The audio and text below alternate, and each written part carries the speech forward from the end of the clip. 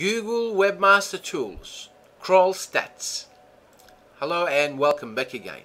In this video session I'm going to quickly uh, talk about the crawl stats information Google makes available through Google Webmaster Tools. As we can see Google is showing us three different graphs and pages crawled per day that's the first one that's basically saying how many times Google came to your um, website to request different um, URLs okay? That's what that setting is all about. At the end of the day what we're seeing right now is reasonable you know up and down in spike. That's no problem. What you should be looking for is if there's a flat line. That would basically say Google is not coming to visit your landing pages. Or if there's a huge drop and then uh, and then there's a flat line okay? So pages crawled per day. What we're seeing is reasonable. Also we have kilobytes downloaded per day. What that means is every time Google comes to crawl a web page on your website it downloads it. And that data is shown in kilobytes here. So um, this data is you know perhaps um, it's just there for most websites it doesn't really give us any more insight.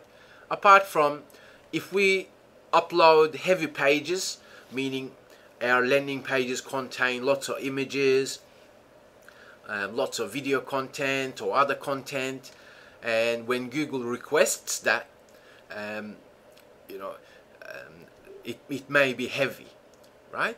So as we can see there is a lot of data that Google has downloaded on this particular date. And I want to know what why that is okay? Was it to do with me? Was it to do with my landing pages? Okay and so on. So another one here is time spent downloading a page. And the data is shown in milliseconds because everything happens fast online right? But this particular information is rather important for us to glimpse at. Reason being um, we want Google to come and access our landing pages and our website quickly okay? And we don't want Google to spend a lot of time downloading any web page that we have. So therefore if you see major spikes going up as such then you want to know why that happened. Was it to do with your landing page you know with your landing page being heavy? Was it to do with your server? Was it you know server having problems and so on okay? So this particular data is very important to glimpse at. And at the end of the day you want steady uh, time downloading right? So you want Google to download your pages in a reasonable manner okay? Faster the better. Slower is not good. You need to keep an eye on it okay? So this particular graph is I believe uh, very important as far as crawl stats are concerned okay?